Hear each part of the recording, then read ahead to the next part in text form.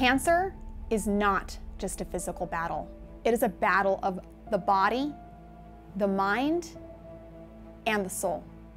When you have cancer, your body is in a state of war. And if you don't address what's going on physically, mentally, and spiritually, there's no way that you can fully win the war. Now to step away from some of these like poetic uh, terms like war and so forth, let me break it down a, a little bit more um, in layman's terms. Your body works based on, sure, genetics, but then those genetics are turned on and turned off based on what's going on environmentally. What's going on environmentally inside the body and outside the body. That's one way that it works. But what's going on inside the body is also determined by what you're thinking and feeling. The mind directly influences our cells and how they behave through our nervous system. Now, this isn't just my opinion. This is a fact. If you go through and read the book Radical Remission, the author actually did some research of hundreds of people who had cancer who then went into remission and looked at all of the cases and everything that they had done prior to going into remission and found 12 common things that every single one of those people did. There were many other things that were done that were outliers and some people did it, some people didn't, but there were 12 that they all did. And this is across age groups, across culture, across gender, all of it. And one of those is what I'm really talking about today.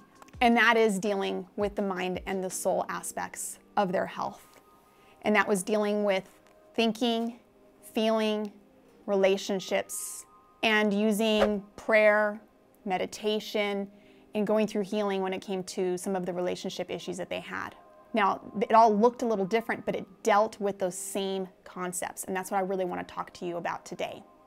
Okay, so when you are thinking or feeling something negatively due to your relationships with yourself, your relationship with God, your relationship with others, and you you feel or think something negatively, your body is going to respond to that negative thought. And some of us may not even be aware of what's happening, but those negative thoughts and feelings or situations that we put ourselves in, toxic environments and so forth, put our body in a state of what's called fight or flight, right? If we don't experience this very often, we notice it very easily. But if we are experiencing this on the daily, if we struggle with negative thinking, uh, negative feeling, negative relationships, those types of things, we can be what's called stuck. Now, how does this affect cancer? Okay.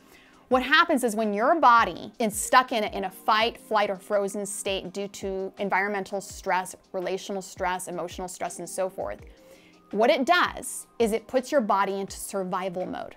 And all that means is get away from the bear, right? So it will, your body will swell up with inflammation, and all it wants to do is increase the cortisol and get you out of there. There is no time for your cells to absorb nutrients so that it can have time to strengthen. There's no time for your cells to clean up and kind of get rid of the mess inside their house because they're running from a bear. There's no time for that. So it's only in a state of rest and digest, the parasympathetic nervous system, that your body is actually able to slow down and actually strengthen itself so that it can fight the bear later on if it encounters it later on, right? So that is when the food that you're putting in, you know, the supplements that you're taking in, all of those types of things are helping strengthen those cells. And your thinking is helping teach your mitochondria to behave better, right? So that it can it stops making cancer. Here's the issue. If you have cancer, your body wasn't able to fight it. Every single person in this world has some sort of cancer cells in their body at this very moment. The difference is, is their bodies were able to attack it and get rid of it where the ones whose mitochondria wasn't acting accordingly, the cancer took over the cell. So that's why I go back to this state of war. Like imagine yourself in this state of war and you're running from, you know, from this enemy who's attacking you and taking over.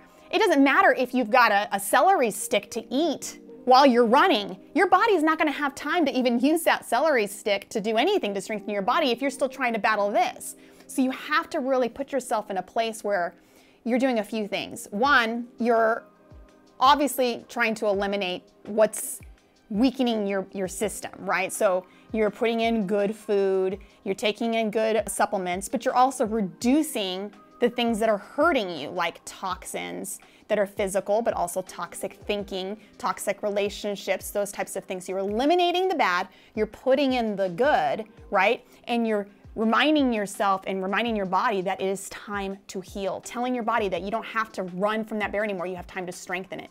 Now, meanwhile, what, maybe you're doing chemo, maybe you're doing radiation, maybe you're doing vitamin C infusions and so forth that are directly attacking the cancer cells. Maybe you're taking some off label drugs that are starving that cancer cell at the same time. That's good, right? You want to do all three. You want to be attacking the enemy, but also strengthening your body so that you can fight the enemy right? And that way, when the cancer is gone, you can make sure that it doesn't come back because your body knows how to handle it if it comes back. You can't do that without addressing all three of those environments, right? Going back to keeping yourself in parasympathetic rest and digest mode as often as possible. And the only way that you can do that is by controlling your thoughts and your feelings based on how you see yourself your relationship with yourself, your relationship with God, and your relationship with others.